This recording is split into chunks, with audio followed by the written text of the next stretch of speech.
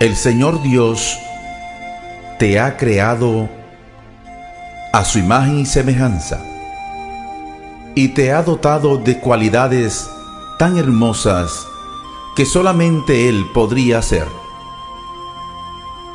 Te ha dado la libertad para que escojas de lo que quieras hacer, aún en contra de sus deseos. Es por eso, por ir en contra de los deseos del Señor, que perdemos la misma libertad que Él nos ha regalado. Porque creyendo hacer lo contrario a lo que Él quiera, nos creemos libres. Y es lo contrario, es cuando caemos en la privacidad de la libertad. Es cuando nos convertimos en prisioneros de nosotros mismos y de los deseos de los demás. A los jóvenes se les imponen culturas, deseos, hasta se le construye una forma de vida, un estilo de vida. Los grandes imperios que tienen en sus manos las riquezas de este mundo y que muchas veces son manejados por personas del mal, conectados a sectas satánicas e influenciados por el mismo Satanás construyen modas, estilos de vida, frases, gestos, condiciones que te atan de por vida. Fabrican un modelo a su manera. ¿Tú eres un manipulado? ¿Te dejas influenciar por las modas? Eres un masificado no tienes decisiones propias. Te dejas influenciar por el medio. En cierto modo, eres un esclavo. Has perdido la libertad buscando libertad.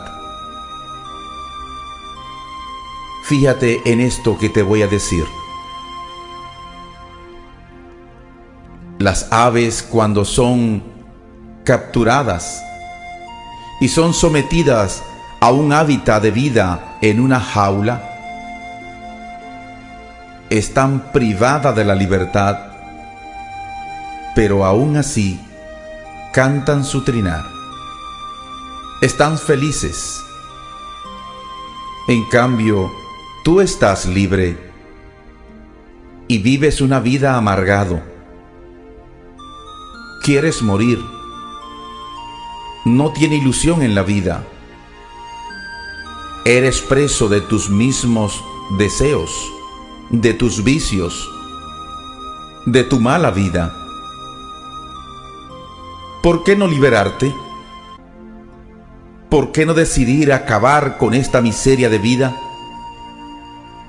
¿Por qué no pensar en el único que da vida? ¿Por qué no aclamar a Él que es el dueño de la libertad, es el dueño de la vida, en este momento de desesperación en que me encuentro? ¿O al contrario, quiero cerrarme a todo lo que me rodea en este mundo y evadir mis responsabilidades? ¿Es por eso acaso que estás sumergido en el dolor, en el desencanto de la vida? No quieres bañarte, no te quieres arreglar, no quieres cambiar de vida, piensas que ya todo está perdido. Hermano, levántate. Siempre hay un camino. En medio de la oscuridad siempre brillará una luz, aun sea pequeña, una luz que puede agigantarse y disipar la oscuridad que hay a tu alrededor ánimo, levántate, ponte en camino, di quiero ser feliz, iré adelante, saldré adelante. Dios mío, dame tu mano que me caigo, dame tu mano que me hundo, ayúdame en esta situación que estoy viviendo. Y el Señor tenderá sus manos hacia ti, y si permites, te sacará de ese atolladero. Deja que el Señor conduzca tu vida. Sed libre en su presencia.